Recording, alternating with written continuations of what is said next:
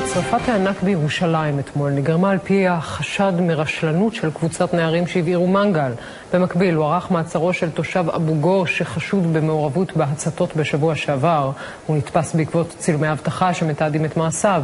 מהכתבה של משה נוסבאום. הבוקר, כשצוותי הכיבוי עוד עסקו בכיבוי כמה מוקדי אש ובעיקר עשן פעילים, במקביל חזרו דיירי הבתים שנפגעו קשה בשרפה הזאת והתקשו לצפות בעוצמת הנזק שנגרם לבתיהם ולרכושם. שוב מקרים של היסטוריה משפחתית של עשרות שנים שנמחקת בתוך שניות בלהבות הבוערות. עכשיו כבר אפשר לומר כמעט בוודאות, השרפה הזאת נגרמה מרשלנות של מטיילים, וליתר דיוק קבוצת נערים ושוב זה סיפור של מנגל.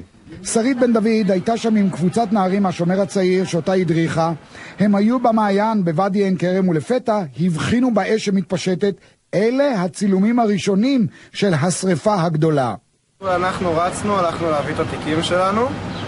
אני הלכתי גם לצלם, ואז שאלתי אנשים שהיו שם מה קרה. מסתבר שהיו שם כמה קבוצות של אנשים, הם לא כולם היו קבוצה אחת.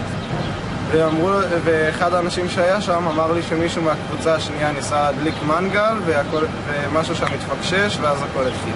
הם גם דיברו שם אחד עם השני והבנו שהם ניסו להדליק מנגל ושזה יצא משליטה וזה מה שבעצם גרם לשרפה הזאת. הרוח הייתה שחקן ראשי בשרפה הזאת, התוצאה, יותר מחמש שעות נאבקו שם הכבאים עד שהושגה שליטה, אחר כך הם נשארו שם כל הלילה והבוקר עד שהאש כובתה. וזהו כבר סעד עבד אל-רחמן מאבו גוש, שהיום מוארך מעצרו לאחר שהודה בהצתה בשבוע שעבר בכפר מגוריו, אבו גוש.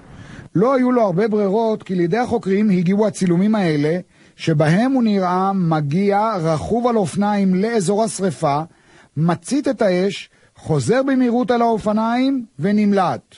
בתום חקירה מאומצת הצליחו חוקרי משטרת ירושלים לזהות את החשוד. יש מצב שהוא קשור להצתות נוספות, כרגע החקירה נמשכת. ככל הנראה פעל עם אנשים אה, נוספים ויש מעורבים נוספים שצפויים להיעצר. במשטרה ובמכבי אש מדגישים שלאחרונה נרשמת עלייה של עשרות אחוזים במספר השרפות באבו גוש. החשד הוא שמדובר בהתארגנות שפעלה בכפר על רקע סכסוכים פנימיים. מישהו מכוון ושולח את המציתים להבעיר את האש באבו גוש כמעשי נקם. זוהי כרגע ההערכה העיקרית במשטרת ירושלים.